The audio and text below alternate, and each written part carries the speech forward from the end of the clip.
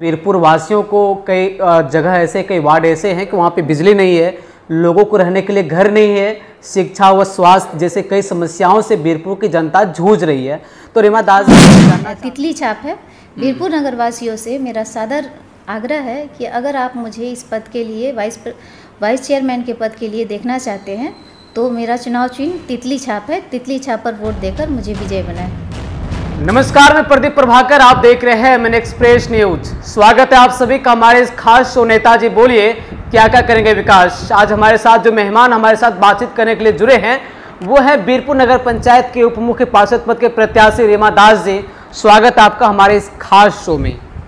सबसे पहले बीरपुर नगर वासियों को मेरा प्रणाम। रीमा दास जी आप चुनावी मैदान में उतर आए हैं।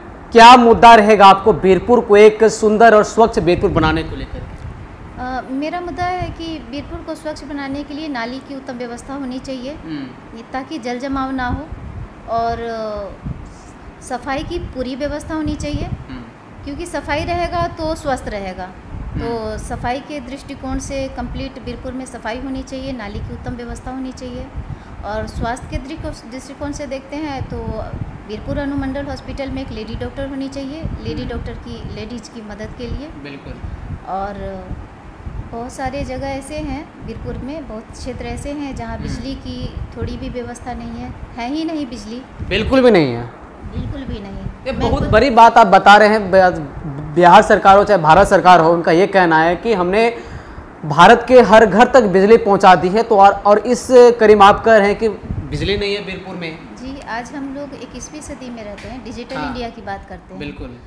मगर डिजिटल इंडिया तभी संभव होगा जब हर क्षेत्र में बिजली हो विकास हो। तो हम एक क्षेत्र ऐसा ही है घूमते हुए पहुँचे वहाँ पे तो हम्म। पता चला कि वहाँ बिजली की कोई कोई भी व्यवस्था नहीं है। किसी भी तरह की ना पोल तार हम खुद भी देखें तो कहीं कोई भी व्यवस्था नहीं थी। इस हिसाब से मेरे हिसाब से जो है कि बिजली की उत्तम व्यवस्था होनी चाहिए। जिससे बच्चों को पढ़ने में भी दिक्कत होती है। हम्म। बच्चे पढ़ नहीं पाते होंगे।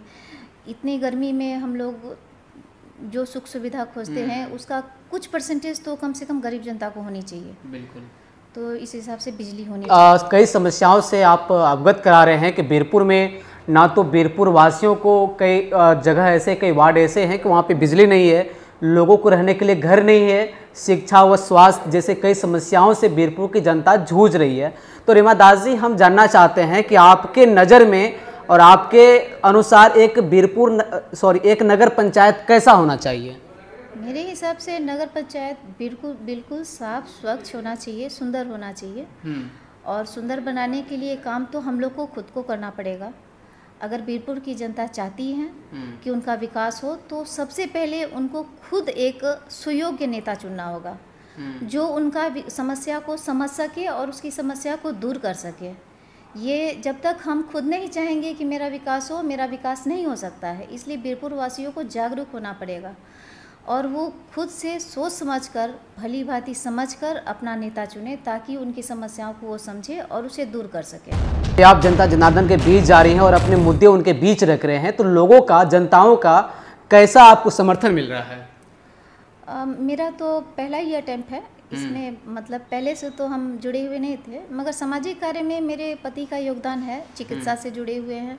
और मैं भी उसी थ्रू मदद कर रही थी। और मेरा कोई खास तो योगदान नहीं था अभी तक।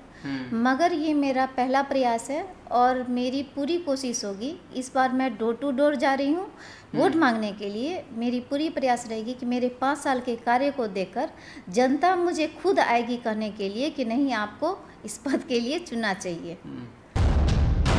चुनाव आयोग के द्वारा चुनाव चिन्ह का भी वितरण हो चुका है तो क्या चुनाव चिन्ह मिला है आपको? मेरा चुनाव चिन्ह तितली छाप है। बीरपुर नगर वासियों से मेरा सादर आग्रह है कि अगर आप मुझे इस पद के लिए वाइस वाइस चेयरमैन के पद के लिए देखना चाहते हैं तो मेरा चुनाव चिन्ह तितली छाप है। तितली छाप पर वोट देकर मुझे विजय बनाए। चलिए, अभी हमारे साथ जुड़े हुए थे रीमा दास जी, जो बीरपुर नगर पंचायत के उप मुख्य पार्षद पद से उम्मीदवार हैं, और वो अभी आप सभी जनता जनार्दन से अपील कर रही थी कि वो उन्हें बीरपुर नगर पंचायत के उप मुख्य पार्षद से उन्हें जिताएँ। तो अभी आप देख रहे थे हमारा यह खास शो नेताजी बोलिए, क्या क्या करेंगे विकास। तो हम फिर मिलेंगे एक नए प्रत्याशी के साथ अपने इस खास शो में। तब तक के लिए धन्यवाद और आप देखते रहिए एमएन एक्सप्रेस न्यूज़